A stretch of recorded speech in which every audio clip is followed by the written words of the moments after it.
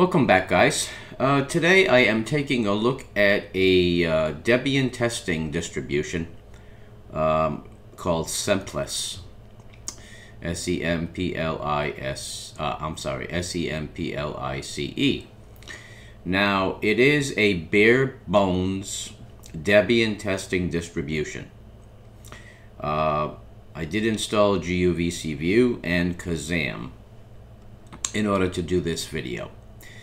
Now, I have not really done anything else to it other than run the updates. Now, it is an Openbox system, so uh, we're going to follow along here. It says, great, you just opened the main Semplice menu. Now write something in the keyboard. So, if I type something on the keyboard, um, the search comes up in the top of the screen. As you can see, I typed ice and Iceweasel came up. From here, you can easily open new applications. Press escape to hide the launcher, which I did. Now you can use Semplice. So that's a little bit of a, a kind of a beginning tutorial uh, to show you how to use the OpenBox system. Now with OpenBox, you don't really have a, a menu in your um, in your toolbar. Uh, you've got open windows. As you can see down the bottom, I have GUVC View and Kazam. But other than that, um, for example, if I type if I type ice and I have Iceweasel and I bring up Iceweasel, then another window opens at the bottom. So it's a typical open windows scenario. Now, in the bottom right, um, you have your utilities. It's your system tray. I haven't added, added anything to it, um, but I would uh, add the usual uh, sensor, Redshift, things like that. Now this is Iceweasel and this is the default browser. If I go to Semplice website, uh, let's see if this is the website. Doesn't look like it. So how about Semplice Linux? That sounds better. Okay, so here we have the Semplice web website. Now, the reason I like it is because it's simple. Um, it's Openbox. It uh, it installs quickly.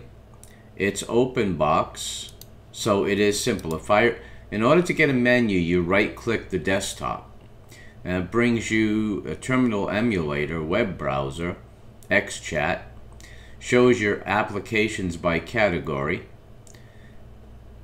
as you can see, not a whole lot is installed out of the box, but I think that's a good thing because then you can build it just the way you want. Places, it has all of your places. Haven't had any issues with file management.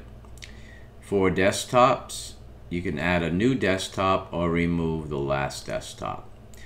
And for music, I have no music player running and for settings you've got a little uh, settings configuration menu. Now if you go to appearance you can uh, change your theme.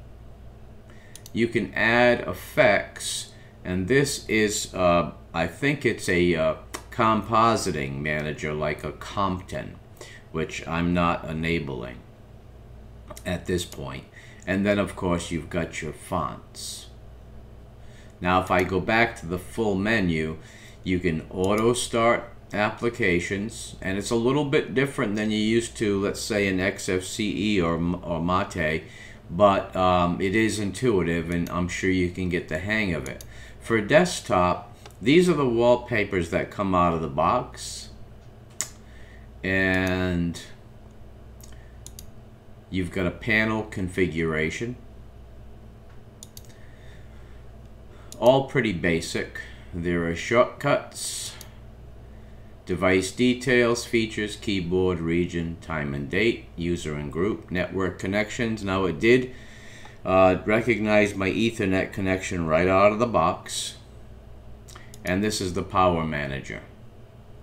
And there really isn't much for power management. I don't see a screensaver or, or anything like that. So it is simple. And simple is good. Now, as far as um, I'm going to install one thing here because I want to take a look at something.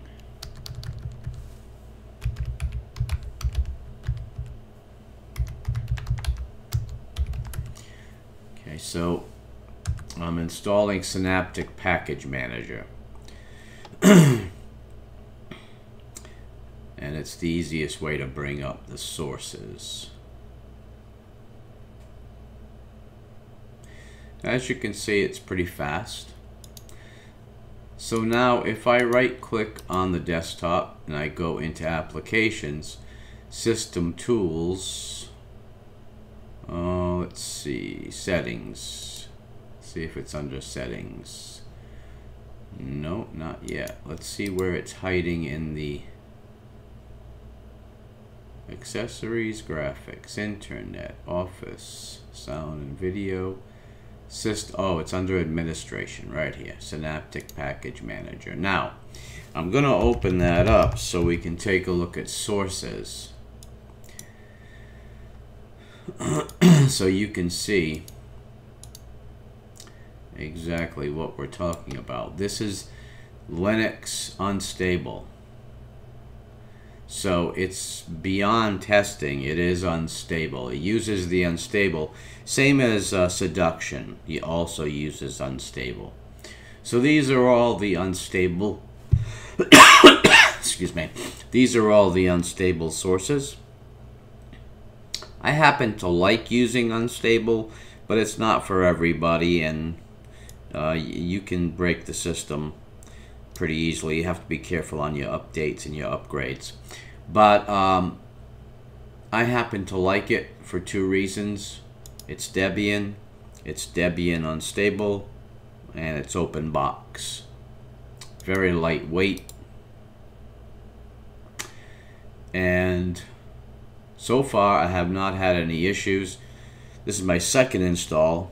I installed it first I put in all my system tray applications. Uh, I had no issues at all.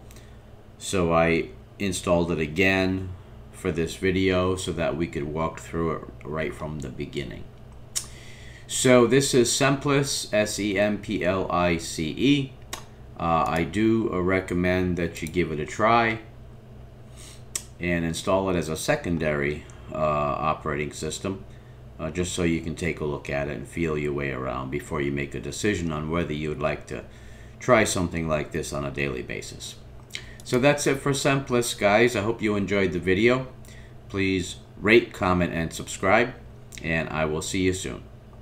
Take care.